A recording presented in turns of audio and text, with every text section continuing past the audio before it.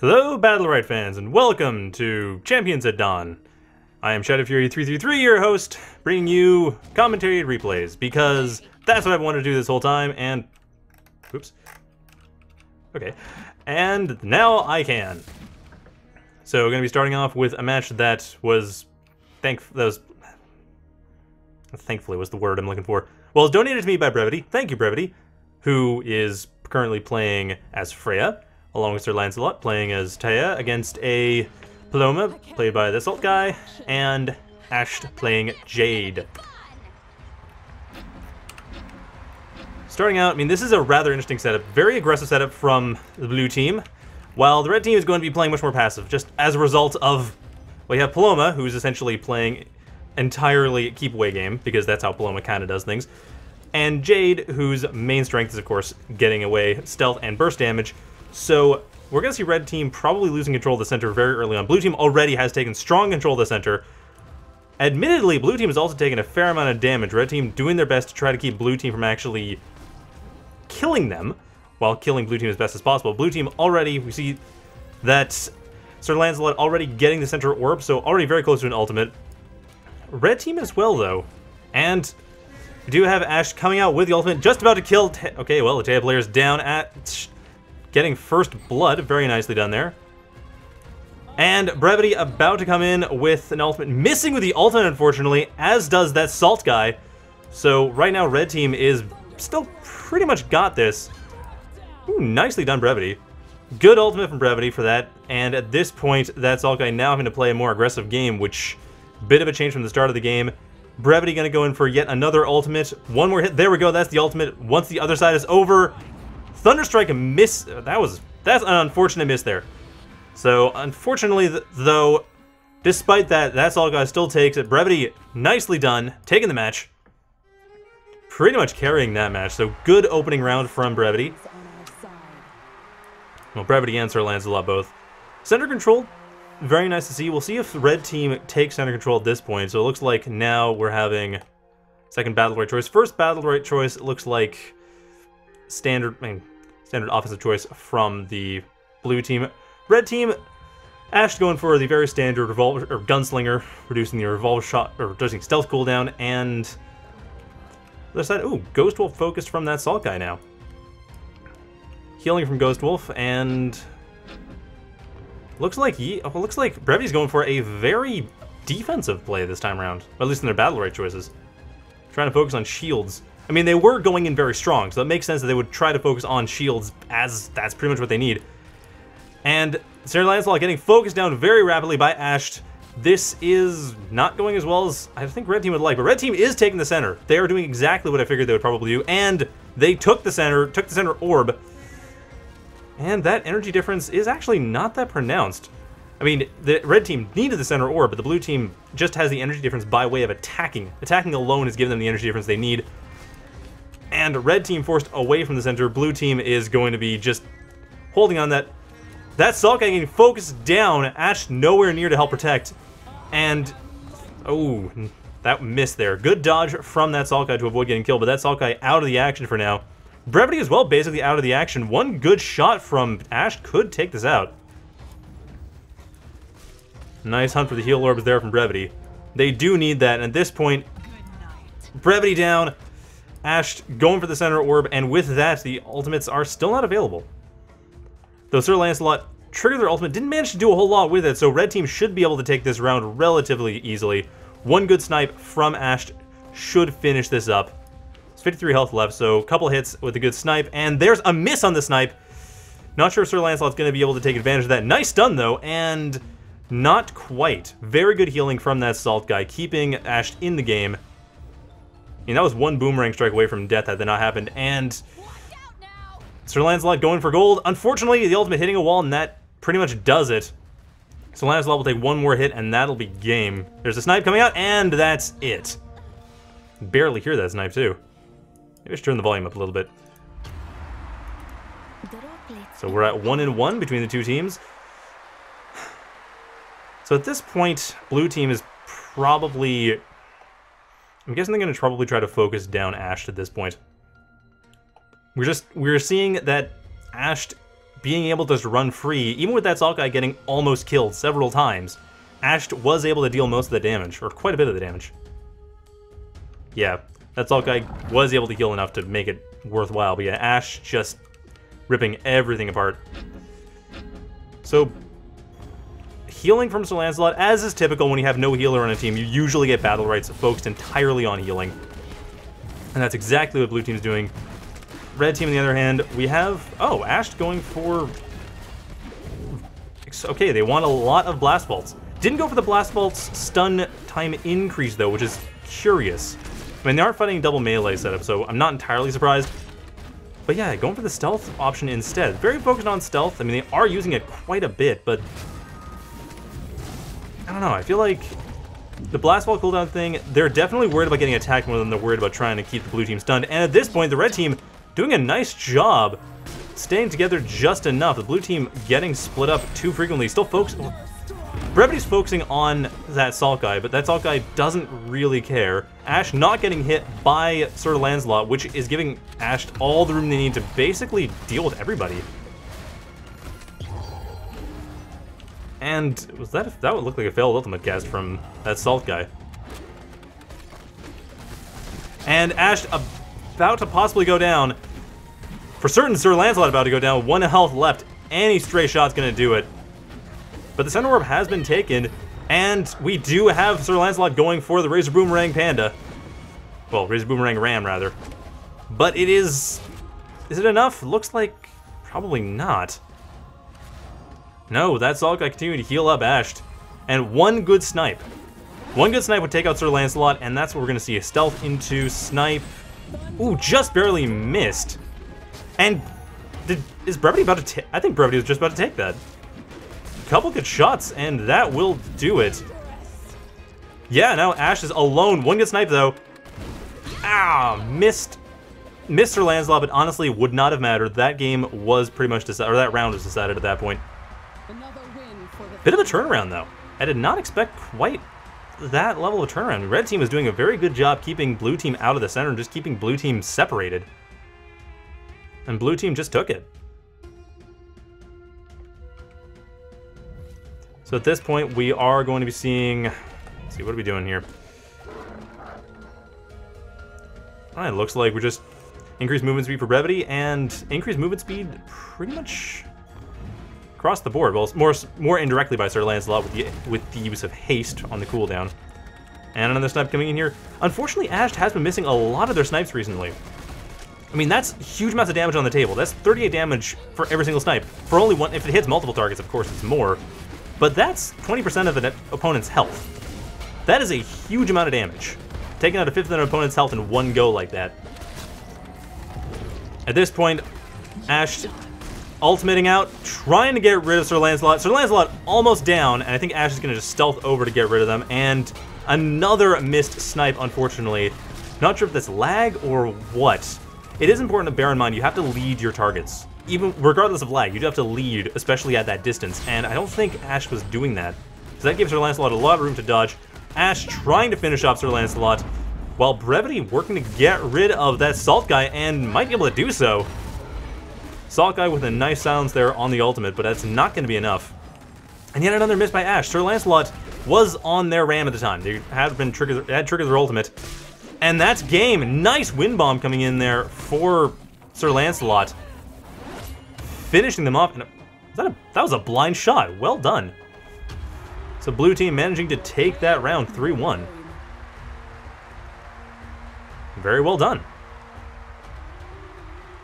I mean, they that first round was very convincing. The second round, I felt like red team kind of had blue team's number. Third round, though, that was a turnaround. I was really surprised by that. Like, seriously, that was... The degree to which that simply came out of nowhere. It's very come from behind there. So, at this point, I'm going to be doing replays that I played. So, yeah. I mean, they'll probably be good. I'll pick good ones. I just don't like casting myself. But I will. So, I actually did a bunch of games with a bunch of different heroes, just partly to prepare for tonight, and partly just because that's a good thing to do. So the first game here is going to be one with me playing as Shifu. Right.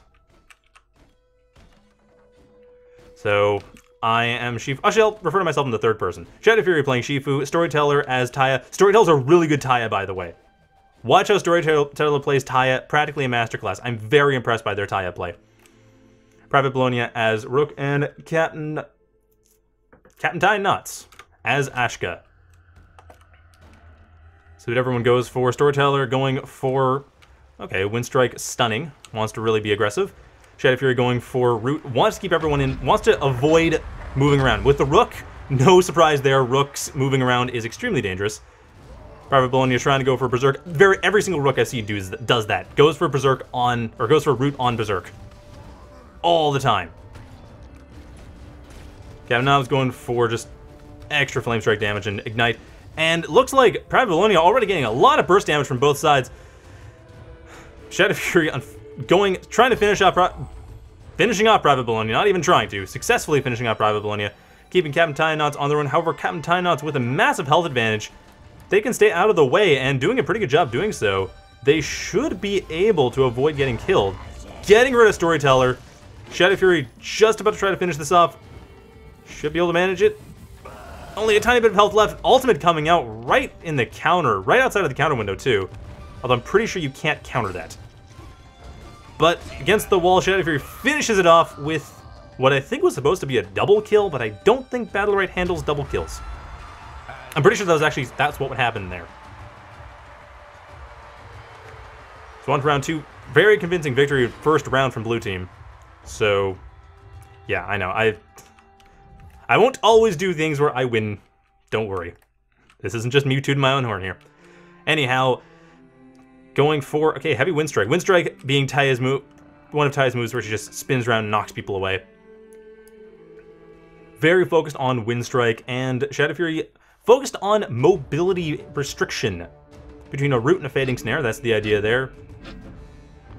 And Captain Tynauts going more defensive, which makes sense. They did lose quite a bit. And Private Bologna also going to try to reduce movement speed, which makes a lot of sense. Shifu and Taya both rely a lot on movement. Shadow Fury with a counter there. Pretty decent counter, but red team now making sure they stick together. Last game they were not sticking together as well, and that did... Oh, unfortunately triggered... Gotta be careful with Rook. You don't want to trigger that counter. In general, you don't want to trigger counters, but I find particularly with Rook, triggering that counter... I mean, Rook becomes invulnerable, and then has the Berserk status, which reduces the movement speed of everyone because of the Battlerite. Actually, no, sorry, that's Berserk the move, not Berserk the status. But Storyteller taking that one out and finishing off with the ultimate should be able to, well, between the two of them, finishing off the red team. So once again, taking out the red team very quickly. But red team did a better job sticking together and was more aggressive in the center. The one thing, though, that Rook, or Private Bologna, is kind of getting out of the way. I mean, both Private Bologna and Shadow Fury trying, kind of getting away from their ranged allies which is a common thing to have happen, but is an easy way to get killed. More so a concern for Shadow Fury and Storyteller, though. Storyteller going for increased healing, or actually lots of increased healing, all the healing, while Shadow Fury going for additional damage during the Fleetfoot ability. Captain Knots wants to just basically escape as much as possible, going much, going very much for survivability, and as is the Rook player, as is Private Bologna. So red team definitely playing more, or definitely strategizing more defensively, though admittedly that's still one of those things. Like, the Battle Royale choice does not seem unusual to me. And Shadow Fury this one having a hard time dealing with Private Bologna. Getting hit by the ultimate, probably gonna die right here, gets killed. And Private Bologna takes it down, but Captain Tynauts was not really hit during that fight at all. Captain Tynauts took basically no damage, which was not surprising. I mean, Rook is a massive force. You want to focus down the Rook. You want to make sure that Rook's not there. And with that Rook there, you end up with a lot of dying. Unfortunately, without that Rook there, you also end up with a lot of dying because Ashka's rather tricky.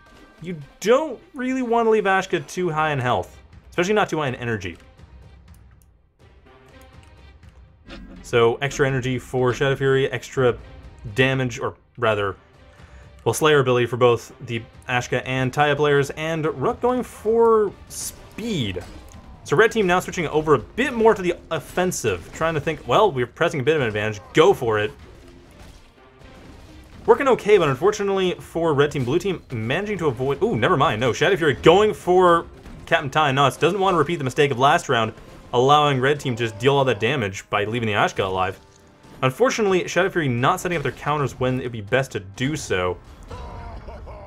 And Storyteller with a nice clutch tornado at the end, just making sure they don't waste that at the end of their life. And nicely done for Captain Ty Knots, avoiding triggering the counter there. Be able to get off that ultimate. It's always important to do that. Whenever you see someone going for counters, Captain Ty Knots was on point there. Made sure not to get that counter. That counter was a bit early, though. If it had gone a bit later, but at that point, the counter was basically just empty counter, which generally you don't want to do, for obvious reasons. I mean, if you go for an empty counter, then what do you have, right? The last round, Looks like off. Well, yeah, offensive choice for Shadow Fury, offensive choice for Storyteller. All the last battle rates are always just increase your ultimate, either offensively or defensively. And it looks like Private Bologna is still going offensive, but Captain Ty Knot's not sure if they want to go offensive or defensive. And at this point, it looks like Blue Team's going to be able to take out Sergeant or Private Bologna. I'm promoting Bologna right away. I mean, they've been doing pretty well. They deserve a promotion. But at this point, they're still a private. That promotion hasn't been approved yet. And they did go down first. Storyteller making sure to avoid getting into any more fights. Oh, sorry, no, Shadow Fury avoiding any more fights. Storyteller doing fine. Shadow Fury taking a lot of damage, though. Probably going to go down here with his ultimate. Although, maybe not. No, looks like we are going to see Captain Knots. Not much they can really do at this point. I mean, they're going to be dealing with damage they can, but Storyteller making sure to position that X-Strike just right finishes off Captain Knots. It's a really good kill there from Storyteller, and like I said, Storyteller, someone to watch. They were actually just doing placement matches at this point, but I think they're someone to watch as far as Taya players go. What the? I just... Okay, I don't know why it's doing this. Yeah, they are somebody to watch. Anyone who wants to know how to play Taya, they don't actually have anything on the Odium yet. They should because they're good. They know what they're doing. And another one will be coming in from from Brevity. So, yeah, later on, I hope I'll be able to get more and more replays. If you want replays casted, just let me know. Just send them to me on Dropbox or whatever, and I'll happily cast them. I enjoy casting replays. It's a thing I like doing. Right, so we have one here with Brevity as Croak with... Let's see, double check here. We have Brevity as Croak. We have Ranger 14 as Jade, which, by the way, if those of you not aware, Jade is my main. So if I seem to know what's going on with Jade far more than anybody else, that's why, because I play Jade mostly.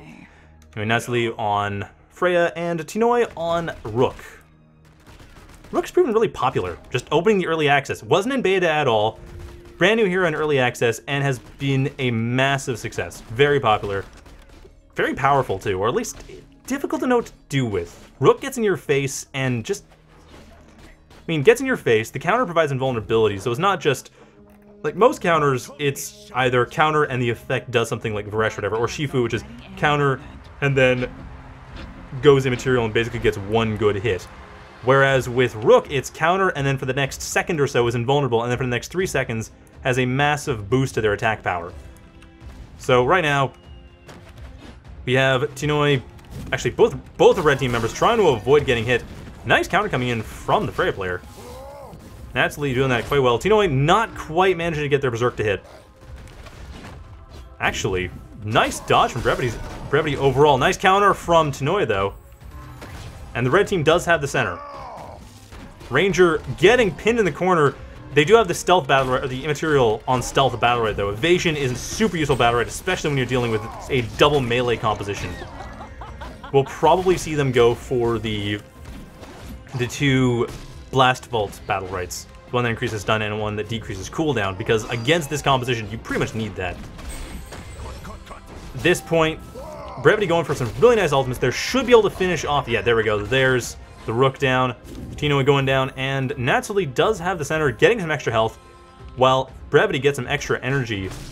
Should be able to actually Well, she no, she go for the stun stealth. No, they're gonna go for the ultimate. Will miss though, and well, yeah, naturally going for an ultimate, hitting, but Brevity with so much health that it almost doesn't matter. It does even out the match though. This is anyone's game now, thanks to that good ultimate from Natsuli. More Toxin coming in, but it's not going to be enough. I think Natsuli will be able to take this unless Brevity gets... If Brevity gets one good hit, whoever gets the next good hit will take this match, and Brevity misses that, gets it with one last Venom into just M1 strike. Very well done there by Brevity at the end. I mean, that was close. It was like a couple missed shots here and there that basically nailed it, though I feel like Brevity had the advantage coming into that fight with a higher health, and really if that ultimate had hit, that would have sealed the game earlier. So, oh, interesting. Extra stealth for Ranger. Not going for the Blast Vaults. Well, naturally going for Shield and Thunderclap. Somewhat aggressive. They want to they want to be in the fight. I mean, both both red team players going very aggressive. They know only there's basically no one that can fight them head on. The, this composition, Jade and Croak cannot fight a melee composition head on. There's just no way. They have to rely on stealth. They have to rely on good hits. They can win, but it's not a head-on fight. So red team, they're going to be better equipped to take the center. They're going to be better equipped to handle basically any direct assaults. Blue team needs to make sure that they're just keeping everything to the side. And at this point, nice ultimate there from Brevity, managing to hit both red team members. And there should be a snipe sometime soon. Really, I'm a bit surprised that Ranger the 14th is not using the EX snipe, snapshot. Getting that root, especially on the rook, well, Okay, on Rook, it's a little bit iffy. They have, if they've used their Berserk, then it'll work nicely. If they haven't used Berserk, then it's a bit tricky, though. At this point, that's where Snapshot would have been useful. It's fine, it worked out, but Snapshot is one of those things that I find wins games. Like, it's 12 damage, but 12 damage can be the thing to win the game, and getting Root on your opponent, they can ability out of it, so you gotta be careful. But if they've used their escape abilities, it's kind of a moot point. So right now, I'm kind of curious what they're going to go for. I think Ranger will probably go for Blast Vault cooldown. And yes, they do. Blast Vault cooldown has been reduced, as has not... Oh, okay. Camouflage cooldown also reduced, which makes sense. And it looks like both red teams still going for the aggressive options on Battle Right. Still want to make sure that they can basically survive in the long haul in main fights. At this point, though, it almost doesn't matter because blue team is basically focusing entirely on making sure they have their stealth options available. Well, stealth and other escape options. Mostly as escape options. Ah, nice counter timing from Tinoi there. That's exactly what they needed to do. Not as nice counter timing from Natsuli there, but Snipe is a very predictable thing. It's one of those things where cancel casting becomes very useful.